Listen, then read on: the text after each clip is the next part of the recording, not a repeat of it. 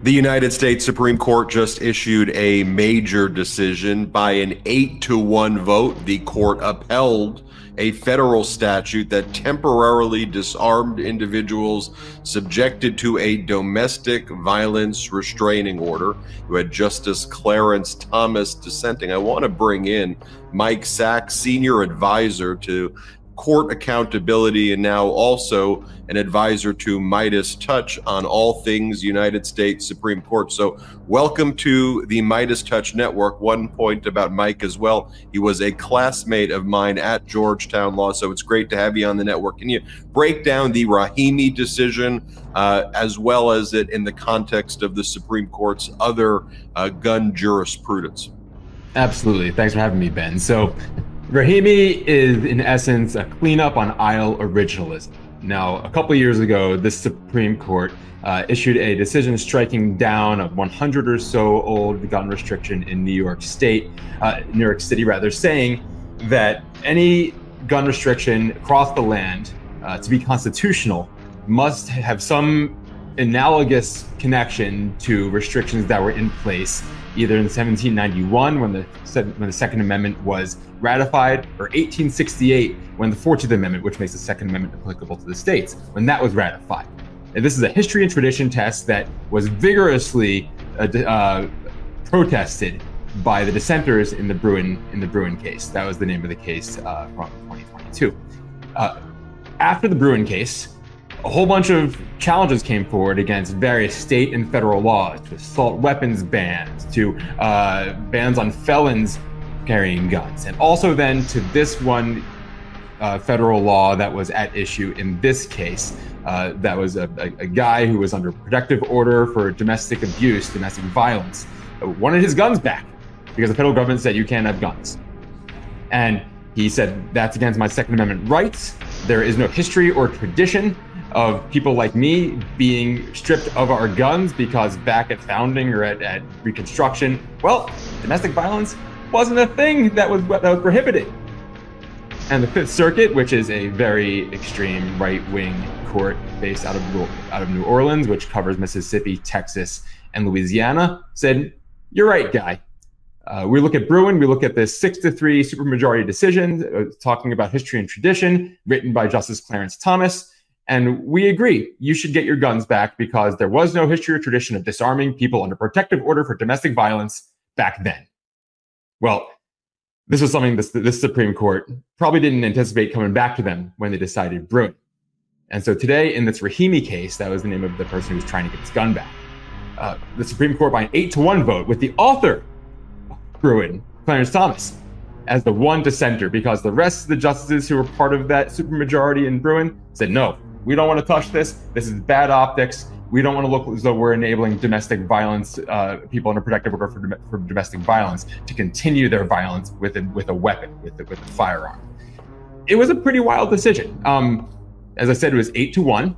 Chief Justice Roberts wrote the opinion, conducting cleanup on aisle originalism and distancing his right wing supermajority on the Supreme Court from the even more right wing majority on the Fifth Circuit, saying, no, we're, we're not like those crazies. We're we're we're down the middle here. We're not going to give guns back to domestic domestic abusers. And he was joined by Justice Thomas, Justice Samuel Alito. He was joined by all three Trump justices, Justice Neil Gorsuch, Brett Kavanaugh, and Amy Coney Barrett, each of whom concurred separately. We can get into that as well. And also joined by the three liberal uh, Democratic appointees, uh, Justices Sotomayor, Elena Kagan, and Ketanji Brown Jackson. Now, those three also each wrote to say, no, we still don't agree with Bruen. We still don't agree with this history and tradition test. We still don't even agree, perhaps even with the Second Amendment cases that came before it that, de- that declared an individual right to keep and bear arms for self defense that came in the Heller case in 2008. Nor did we perhaps even agree with the McDonald case that came in 2010, which extended that to the states. But we're going to focus on Bruen here and say we still don't agree with it. But as we're applying the history and tradition test in this current case, we apply it correctly and more plastically, more pliably than how the Bruen majority seemed to seem to have dictated it to the lower courts.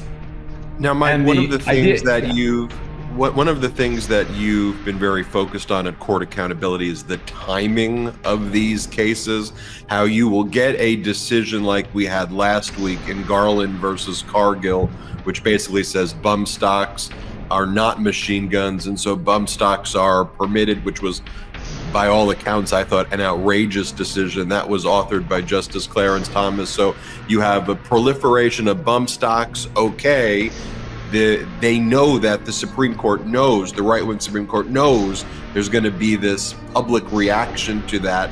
And then, though, they try to tone it down yeah. by taking another fairly extreme ruling from the Fifth Circuit involving a domestic violence statute and say, you know what, domestic, but but we're not going to give the guns to people who have domestic violence restraining orders, right? Like we're cool. We're, we're, we're not that extreme after making an extreme decision. So that's one of the mm-hmm. things you focus on right at the Court Accountability Project is the timing of these things are not by accident.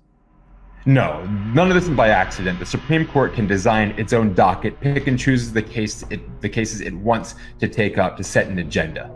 And this term is very much about the Roberts Court, led by Chief Justice John Roberts, trying to wrest control from from the justices who seem to run away with the court, the other the other term, with the Dobbs term and the Bruen term, uh, and say, no, we want to get some headlines uh, declaring that we are, after all, not so bad. We are pretty moderate. We're not so anti-democratic. We're not trying to seize the entire control of the federal government under our own uh, under our, our own power. Uh, so you'll see that across all sorts of issue areas this term. Uh, as you mentioned with the bump stock case, uh, the court did say that the bump stock ban uh, put forward by uh, the Trump administration was beyond the federal government's power to regulate. And in this case, the Supreme Court said, but the Second Amendment does not forbid the government from uh, disarming someone under protective order for domestic violence. It's a win-one, lose-one situation that they're going to be doing across every pretty much every issue area that comes before the court this term, and they've already begun doing that. Uh, it's very much an image management thing, uh, but it's also uh, some some some cases come to them that they just you know, have to take, whether there's a split in the circuits or a lower court like the Fifth Circuit struck down a, a federal regulation or an act of Congress or an executive order.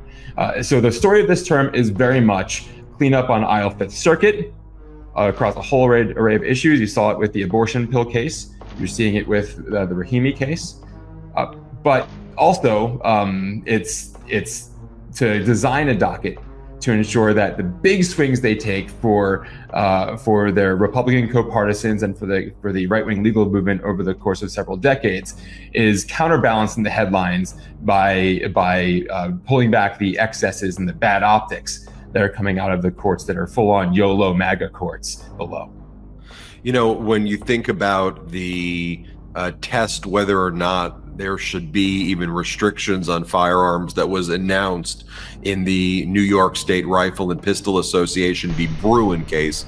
So we talk about the Bruen case decided in 2022 that Justice Clarence Thomas authored. The test is does any specific restriction, quote, fit within this is what you were talking about fit within our nation's historical tradition mm-hmm. of firearm regulation and so when justice clarence thomas and the right-wing court announces that test they could basically come out with any outcome that they want based yeah. on their selective reading of history yep. so it is a kind of heads i win tails you lose no matter what we want the outcome to be all we have to do is say it does or doesn't fit within our nation's mm-hmm. historical tradition based on the selective reading of history of a right wing court. So they've created a test to always reverse engineer outcomes Correct. that they want. And it's, it's, we're seeing the, that come up in different uh, circuits. I'll give you the final word on on this one, but it's great to have you on the network, really getting into the weeds of these Supreme Court cases. Final word on this case. Well, it's another display of how originalism is bunk, right? It's put forward as this one true way to dispassionately understand the Constitution and its provisions as applied to the people and our rights. But it's just another means for result oriented judging that the people who put forward originalism say they're against. But we're seeing it in full force now. You saw all three Trump justices who proclaim to be originalists taking to their own concurrences in this opinion, saying, but no, I have it right. No, I have it right. No, I have it right.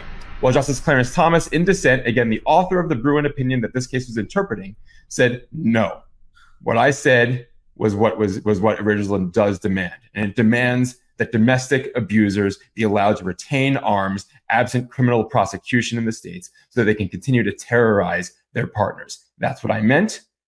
I meant it when I said it. The Fifth Circuit was correct what they did, and I'm going to stand by that. That's what Justice Clarence Thomas said today, and that should be incredibly alarming, as should it be revealing that the rest of his colleagues from the from the Bruen argument were, were backed off and said, no, we didn't mean that. We didn't mean that. And we're going to manipulate our originalist text and history understanding to get the result we want to make sure that we don't have that kind of optics uh, aimed right at our right at our court. You know, also alarming that uh, Chief Justice Roberts allowed Justice Clarence Thomas to write the bump stock opinion, knowing what Clarence Thomas's views are as it relates to the Rahimi decision. And look, when we do these breakdowns, you and I, we're going to really get, you know, into these areas that are not being covered anywhere else. So, Mike, it's great to have a fellow Georgetown Law alum on this, and uh, looking forward to uh, doing more of these hot takes with you. Mike Sachs, Senior Advisor to Court Accountability. No one knows the Supreme Court like Mike Sachs and his organization. Thanks for being on.